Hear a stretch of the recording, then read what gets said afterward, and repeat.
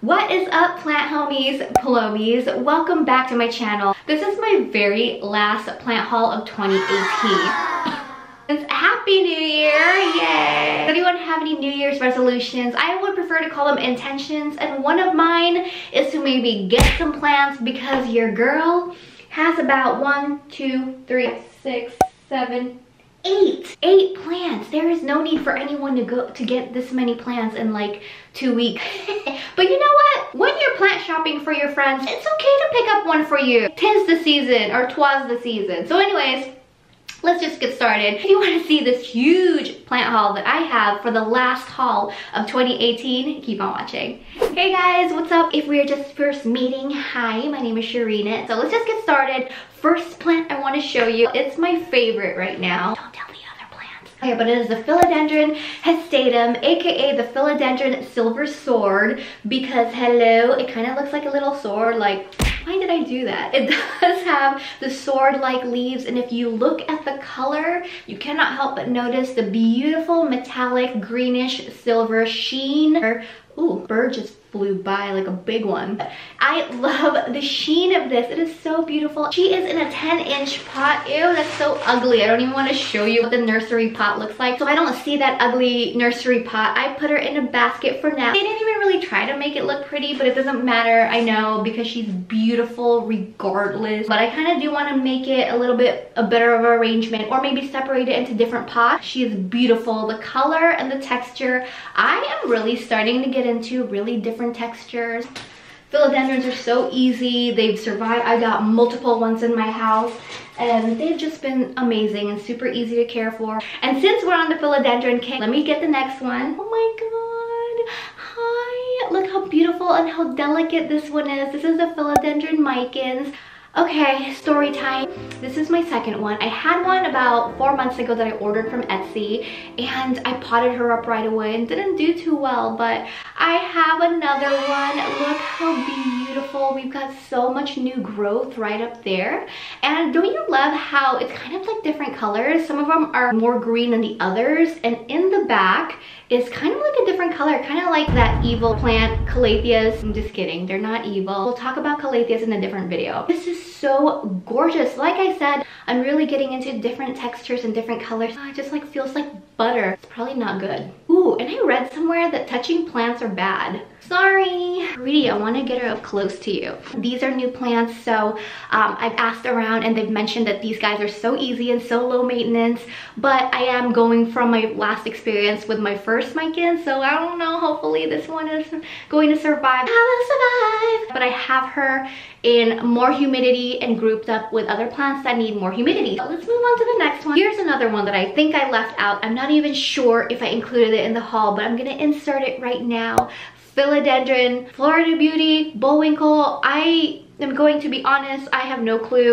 Please tell me if you've seen this or if you know what this is called because I'm looking and it's not quite the same. It kind of looks like the philodendron hastatum. I'm so confused with this one, but it is a philodendron. I love the unique shape of the leaves right? I don't have this. Please tell me if you know what this is called. I can't believe I left you out. I am so sorry. Okay, back to the whole entire haul. Speaking of textures and colors, hold on, let me get him. Look at this beautiful Peperomia scandens, the green one, because there is another kind.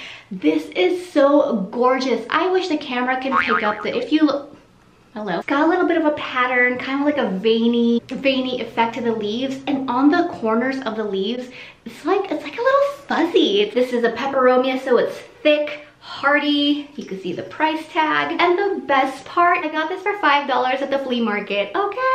And I just love how glossy this one is. It's kind of like, like I wiped her with leaf shine. Do you guys use leaf shine? I use it a couple times, sorry, but it's kind of like I use it on this one. And she's just like glossy, you know? It's just so gorgeous. Okay, I'm gonna put her back. And since we are on the peperomia cake, let me introduce you to her sister.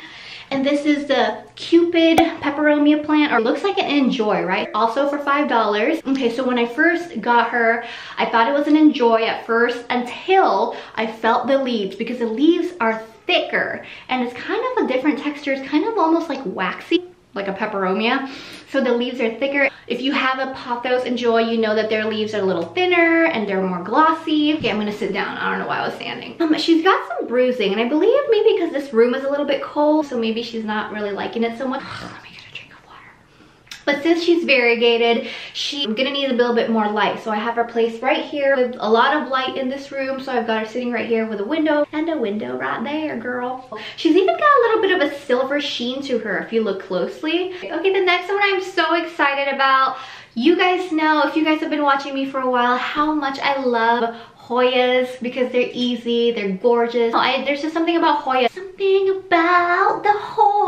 you've seen my Hoya haul, you know that I already have one of these. This is the Hoya obovata. My other Hoya is not trailing quite as long, but oh my gosh, one thing that really stood out to me about this Hoya was the speckles on it. Kind of reminds me of the Hoya pink silver, the pink silver splash because it's got the pink splashes. Hopefully the camera can match, it kind of matches my sweater, right? Like, so can you see that this one has so much variegation, so much speckles. I've never seen a Hoya obovata with this much markings and it is so cute. Have you seen it anywhere like this? Also, a lot of the ones I see are not trailing quite yet. So this is the best one I've seen so far. I just cannot get over how beautiful this Hoya is. So let's get the next one. It's another Hoya, okay? Don't get mad that I have another Hoya. I can't help myself. A New Year's resolution. Stop buying plants. So we've got the Hoya Kerrii, the variegated version. I always thought it was an urban myth that they don't exist or you don't see them out. I've seen these variegated Hoyas. They have one single leaf in a little like two inch pot and they're sold for like $12. Like, no. Oh yes, bring me joyous. Love the heart shape of this one, also known as a sweetheart, sweetheart plant because obviously, you know, heart shaped. And let's move on to the next one. Okay, the next one, kind of like a New Year's theme because in some cultures, New Year's Eve or New Year's in general has been known to bring good fortune. And I want some of that because I need it, okay? To help bring that good fortune into my household, I got another money tree, Pachira aquatica. Look at the girth on him. So my other money tree is a tall one and it's braided, super cool. He's got so many new shoots coming out. I thought it was kind of variegated. I think the leaves just burned. So hopefully you bring me some good fortune and you bring me some more money. That was it. Thank you guys for watching that. Leave me a comment. Let me know which one of these plants that you have and how they've been in your household since they're new to me. Again, thank you for being part of the Plomie community. If you've always thought about doing something that kind of gets you out of your comfort zone, a little bit scared of what people may think, just do it. Honestly, they're more worried about themselves than you. For years, I've always wanted to make videos and just share, but I was always scared of what people would think. And honestly, like who cares? So get creative do something for you. So seeing how it's inspired some friends and family members is something that I was really happy about. Hopefully that's brought a little bit of New Year encouragement for you. Like, subscribe, you know, if you want to see more videos like this. Happy New Year!